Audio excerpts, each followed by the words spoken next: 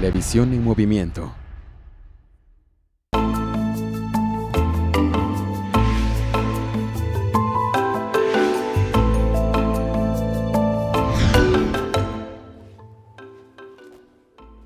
¿Qué tal amigos? Muy buen día.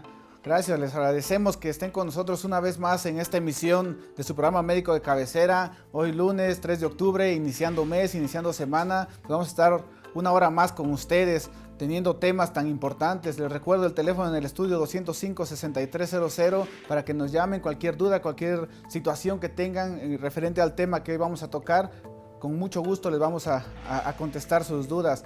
En el Facebook nos van a encontrar con MBM Televisión Oaxaca, porque igual para que nos sigan por redes sociales, les doy mi número para cualquier mensaje que tengan, 951-117-3981, o en mis redes sociales, que es en el Facebook del Valle Clínica Dental, donde nos pueden encontrar. De esta manera, amigos, damos inicio una vez más a este programa. Vamos a la consulta del día.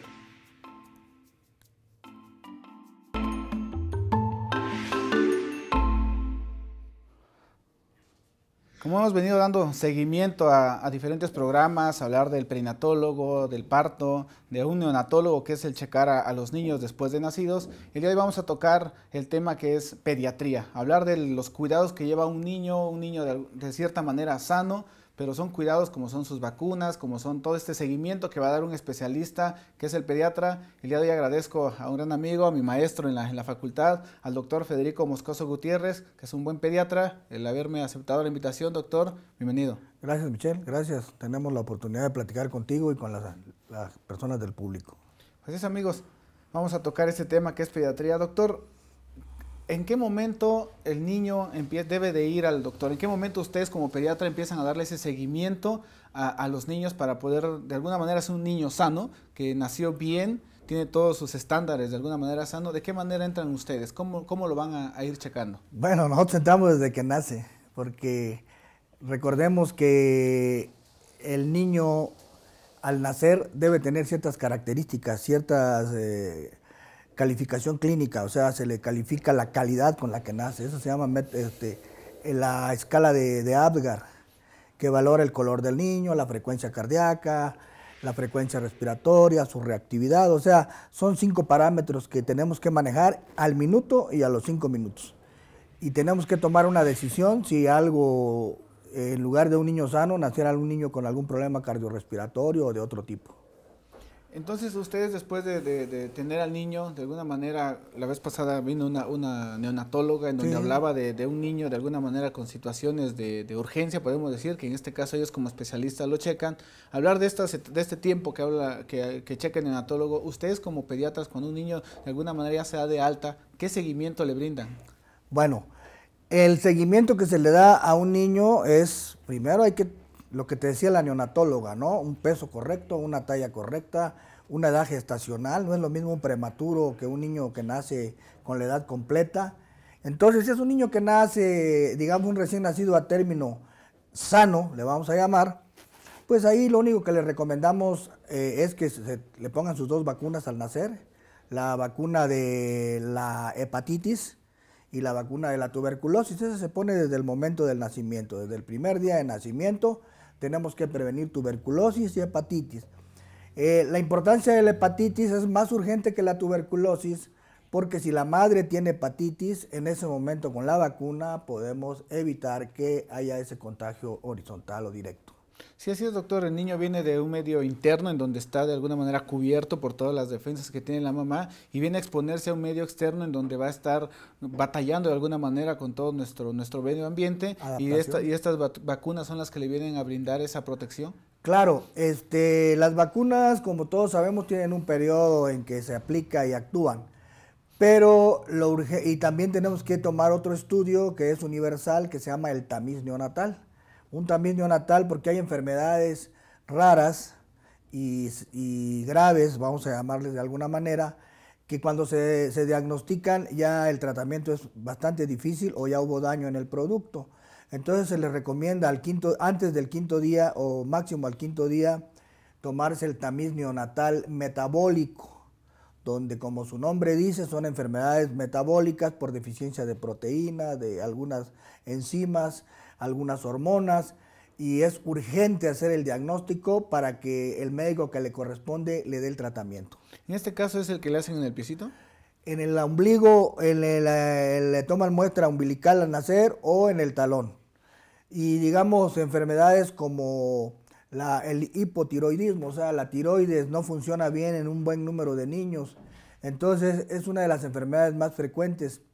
Si no se detecta a tiempo, produce retraso mental. Entonces se le toma el tamiz, entre otras 60, 70, 80 enfermedades, se le toma el tamiz y sale que el cuerpo del niño no produce la hormona de la tiroides, la hormona tiroidea, la tiroxina. El tratamiento es muy sencillo, se le da la tiroxina por vía oral de por vida, vamos a llamar, en algunos casos se le suspende, pero se le evita una enfermedad que se llama cretinismo. El cretinismo es retraso mental severo. Entonces, gracias al tamiz neonatal, se pueden detectar enfermedades y muchas de ellas corregirlas en lo posible.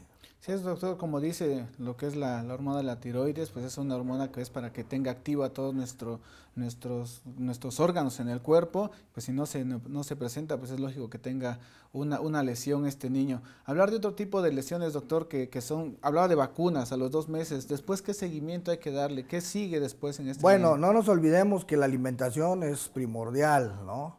Afortunadamente la alimentación es gratis, es súper nutritiva, es estéril, no tiene bacterias, es la alimentación ideal que es la leche materna. O sea, me atrevo a decir, sin exagerar, pero casi el 99.99% de las mujeres están en condiciones de dar seno materno. Y hay gente muy estudiosa que se atreve a decir que la leche no es una alimentación, es una transfusión de defensas. la madre le transfiere a través de la leche materna al producto todas las, todas las defensas que la madre tiene, cuando menos por los primeros seis meses. Entonces tenemos niños que gracias al seno materno, a la leche materna, no son obesos, no son alérgicos, no se infectan, tienen un crecimiento intelectual ideal porque hay sustancias que hacen desarrollo neurológico. Entonces la leche materna es importante que la madre esté convencida. Desafortunadamente ahí la guerra está empatada, pienso yo, antes decía que perdida, yo me atrevo a decir que empatada porque hay, la mitad de las mujeres no le quieren dar seno a, a sus bebés por algunos mitos, por falta de información pero yo creo que el, la mejor que pueden hacer una madre por su hijo es darle seno materno hasta los dos años, pero esencialmente los primeros seis meses. En este caso, es esa pregunta le iba a hacer, doctor. En muchas situaciones comentan que los seis meses nada más hay que darle el seno materno porque ya después ya no es tan nutritiva esa, esa, esa leche. O también a veces ven a, niños de un año, año y medio todavía de alguna manera tomando ese seno materno. ¿Ahí cómo sería? Bueno, la leche materna es exclusiva hasta los seis meses. Pero la leche materna es nutritiva todo el tiempo, nada más que ya no cumple el 100% de los requerimientos nutritivos. Y hay que darle frutas, hay que darle verduras, hay que darle cereales, hay que darle lo que sabemos, carne, leche y huevos y frutas y verduras. Es un proceso lento pero continuo en el que el niño se le empieza con verduras, después frutas, después cereales, después eh, productos, este, proteínas de origen animal. Así es, en este caso entonces hay que variar. Seis meses son pura leche materna. Pura leche materna, nada más que la leche materna este, no cubre dos cosas, que se las damos, no cubre hierro y no cubre vitamina D. Entonces es obligación del médico general, pediatra, neonatólogo darle vitamina D los primeros tres meses y hierro de tres a seis meses. ¿Por qué? Hay dos enfermedades. Una, el raquitismo, que es la, falta de calcio en el hueso. Gracias a la vitamina D y una serie de mecanismos internos del organismo, el calcio llega al hueso y por lo tanto no va a haber descalcificación, no va a haber raquitismo.